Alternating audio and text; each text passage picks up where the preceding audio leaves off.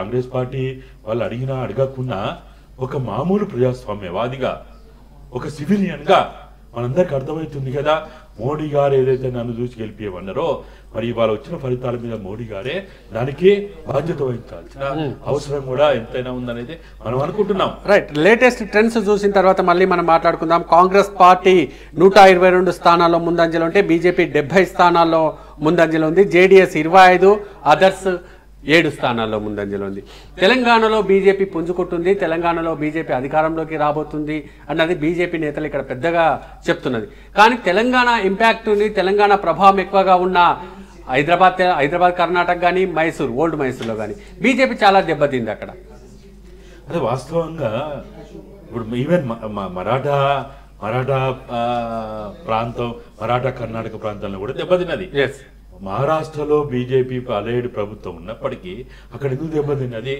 ప్రజలు ఒక ప్రాంతంలో ఉన్న జరుగుతున్న రాజకీయాలను బట్టి కాకుండా ఆ ప్రాంతంలో ఆ రాష్ట్రంలో ఆ నాయకత్వం బట్టి ఆ అభివృద్ధిని బట్టి సంక్షేమ పథకాలను బట్టి ఆ అవినీ ముఖ్యంగా ఇవాళ మనం ఏదైతే ఫార్టీ పర్సెంట్ అవినీతికి సంబంధించిన దాని గురించి మాట్లాడుకుంటా ఉన్నామో ఇవాళ కా బీజేపీ అవినీతికి మారు పేరుగా నిలిచింది ఒక కర్ణాటకలోనే కాదు ఇవాళ భారతదేశ వ్యాపితంగా ఇవాళ అవినీతికి మారు పేరుగా నిలిచింది అనేది అరే మనం ఇవాళ ప్రధానమంత్రి ఎవరంటే భారత ప్రజలకు ఎవరు తెలుసు? మోడీ అని ఎవరు అనుకుంటున్నారు? అదాని అనుకుంటున్నారు. మోడీ అని ఎవరు అనుకుంటున్నారా? ఇలా హోమ్ మినిస్టర్ అనుకుంటున్నారు అనుకుంటలేరు. ఇవాళ భారతదేశంలో ప్రజలందరూ ప్రజలందరి యొక్క భావన ప్రజలందరి యొక్క భావన తన కింది వరకు వెళ్ళిపోయింది. ఇవాళ మనం ఎన్ని మాట్లాడుకోవచ్చు బాబు చూసి బలపనుకునే కేసీఆర్ లాంటి వాళ్ళ మనం సీట్లు అవినీతి. సొమ్ము నాకు రావు. పరిస్థితి ఏంటిది ఇవాళ ఈ రాష్ట్రంలో? ఇవాళ ఈ రాష్ట్రంలో? బీజేపీ టిఆర్ఎస్ పార్టీలో రెండవ మూడవ? స్థానాలకే మాట్లాడుకోవాల్సిన పరిస్థితి వచ్చింది ఇంత పరిస్థితి? ఎందుకు వచ్చింది ఇంత పరిస్థితి ఎందుకు వచ్చింది వల్లనే ఈ అవినీతి ఒప్పందాలు బీఆర్ఎస్కి బీజేపీకి మధ్య జరుగుతున్న ఈ అవినీతి ఒప్పందాలు ఏవైతే ఉన్నాయో ఇవి ప్రజలందరికీ తెలిసిపోయినాయి. ఇవాళ వెనకట్లెక్క వెనక ఆల్ ఇండియా రేడియో ఉన్నప్పుడు ఆల్ ఇండియా రేడియో మాత్రమే ఉన్నప్పుడు ప్రజలు ఇంత అవగాహన లేరు. ఇవాళ ప్రతి వాళ్ళ చేతుల్లో ప్రతి యువకుల చేతుల్లో దళితుల చేతుల్లో ఆదివాసీల చేతుల్లో ఆదివాసీ గూడాల్లో హండ్రెడ్ ఫోన్లు ఉన్నాయి. ఇవాళ ప్రతి విషయము ప్రతి విషయం ఇక్కడ ఇవాళ తొలి వెలుగు ఆ ప్రసారం చేస్తున్నా. ఈ ప్రసారం కూడా ఇవాళ వేలాది మంది లక్షలాది మంది పట్టణ ప్రాంతాలు కాదు ఆదివాసీ గూడాల్లో కూడా చూస్తున్నారంటే దానికి కారణం ఏంటిది? ప్రజలకి సమాచారం ఎప్పటికప్పుడు చేరిపోతుంది. చేరిపోతున్నది ఈ బీఆర్ఎస్ బీజేపీ అవినీతి ఒప్పందం ఏదైతే తెలంగాణ రాష్ట్రంలో కూడా జరుగుతున్నదో దీని పట్ల. ఖచ్చితంగా చూస్తున్నారు అవకాశం వచ్చినప్పుడు. కర్ణాటకలో ఎట్లయితే అవకాశం రాగానే వాళ్ళు ప్రజల యొక్క వాళ్ళ భావనని ఆలోచనని చూపించి ఇవాళ దెబ్బ కొట్టిందో రేపు రానున్న రోజుల్లో దేశం మొత్తంగా కూడా.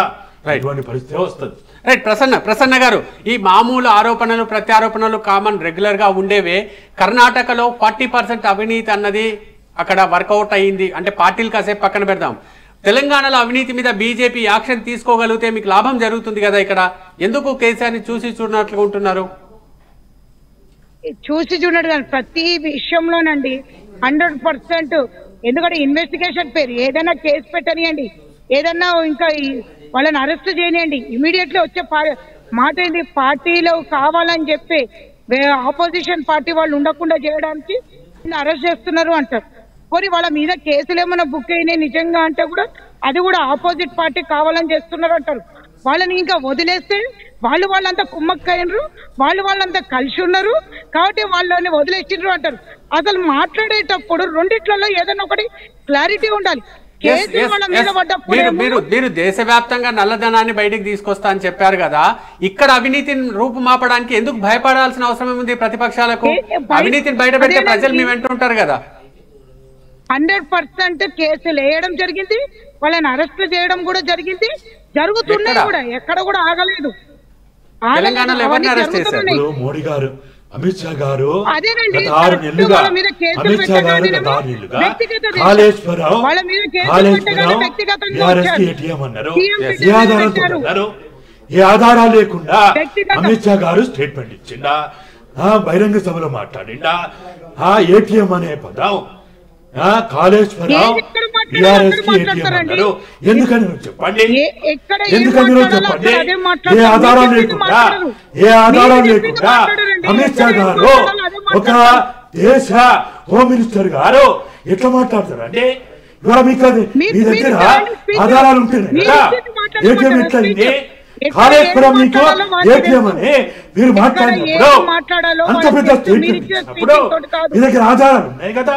ఇంకేం ఆధారాలు కావాలి? మీ దగ్గర సంపూర్ణమైనటువంటి ఆధారాలు లేకుండా అయితే మాట్లాడిందన్నా అబద్ధం కావాలి? అది పొలిటికల్ స్టేట్మెంట్ కావాలి? బ్లాక్ మెయిల్ స్టేట్మెంట్ కావాలి? లేకపోతే కేసీఆర్ బెదిరించి డబ్బులు అనుకోవడం అన్నారు కావాలి. మరి ఎట్లా స్టేట్మెంట్ ఇచ్చిండండి మీరు ఎట్లా స్టేట్మెంట్ ఇచ్చిండ్రు?